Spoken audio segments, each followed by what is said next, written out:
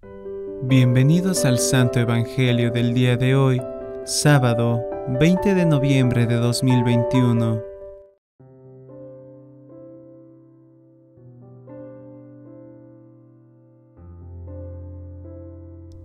Lectura del segundo libro de los Macabeos. En aquellos días el rey Antíoco recorría las provincias del norte, cuando se enteró de que en Persia había una ciudad llamada Elimaida, famosa por su riqueza en plata y oro, con un templo lleno de tesoros, escudos dorados, lorigas y armas dejadas allí por Alejandro, el de Filipo, rey de Macedonia, que había sido el primer rey de Grecia. Antíoco fue allá e intentó apoderarse de la ciudad y saquearla, pero no pudo, porque los de la ciudad, dándose cuenta de lo que pretendía, salieron a atacarle. Antíoco tuvo que huir y emprendió el viaje de vuelta a Babilonia. Apesadumbrado, entonces llegó a Persia un mensajero con la noticia de que la expedición militar contra Judá había fracasado. Lisías, que había ido como caudillo y de un ejército poderoso, había huido ante el enemigo. Los judíos, sintiéndose fuertes con las armas y pertrechos, y en el enorme botín de los campamentos saqueados, habían derribado el arca sacrílega, construida sobre el altar de Jerusalén.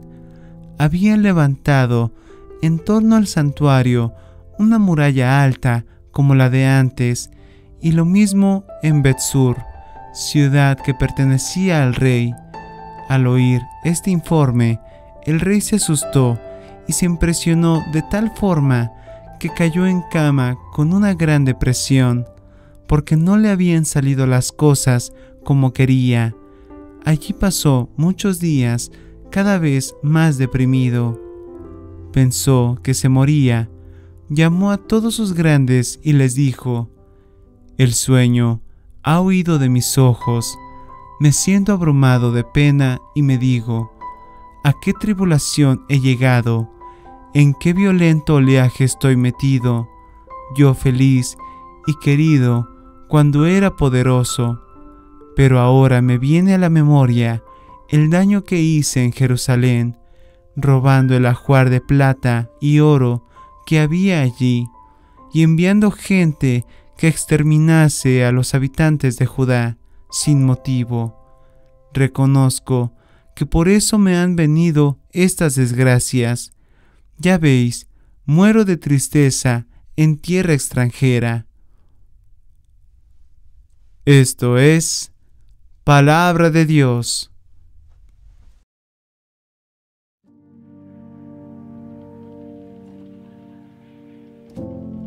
Gozaré, Señor, de tu salvación. Te doy gracias, Señor, de todo corazón, proclamando todas tus maravillas. Me alegro y exulto contigo, y toco en honor de tu nombre, oh Altísimo. Gozaré, Señor, de tu salvación. Porque mis enemigos retrocedieron, cayeron y perecieron ante tu rostro. Reprendiste a los pueblos, destruiste al impío y borraste para siempre su apellido. Gozaré, Señor, de tu salvación. Los pueblos se han hundido en la fosa que hicieron, su pie quedó prendido en la red que escondieron. Él no olvida jamás al pobre, ni la esperanza del humilde perecerá. Gozaré, Señor, de tu salvación. Lectura del Santo Evangelio según San Lucas. En aquel tiempo se acercaron a Jesús unos saduceos que niegan la resurrección y le preguntaron, Maestro, Moisés nos dejó escrito, si a uno se le muere su hermano, dejando mujer pero sin hijos, cásese con la viuda, y de descendencia a su hermano. Pues bien, había siete hermanos. El primero se casó y murió sin hijos, y el segundo y el tercero se casaron con ella, y así los siete murieron sin dejar hijos. Por último, murió la mujer. Cuando llegue la resurrección, ¿de cuál de ellos será la mujer? Porque los siete han estado casados con ella.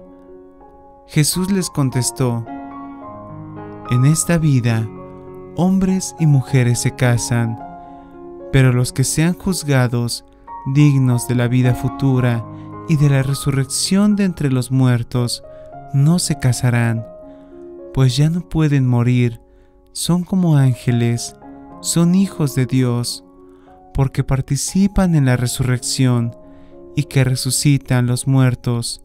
El mismo Moisés lo indica en el episodio de la zarza, cuando llama al Señor Dios de Abraham, Dios de Isaac, Dios de Jacob. No es Dios de muertos, sino de vivos, porque para Él todos están vivos. Intervinieron unos escribas, bien dicho maestro, y no se atrevían a hacerle más preguntas. Esto es palabra del Señor. Gloria a ti, Señor Jesús.